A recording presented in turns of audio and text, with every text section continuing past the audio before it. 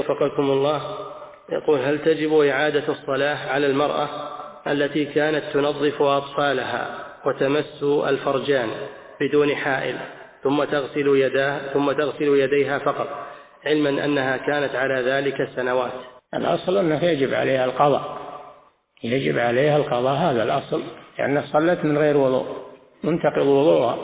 إذا كانت تمس الفرج مباشرة من غير حائل ينتقض وضوءها. إذا كان عليها عدة سنوات بإمكانها تكتب للإفتاء الشهور لحل.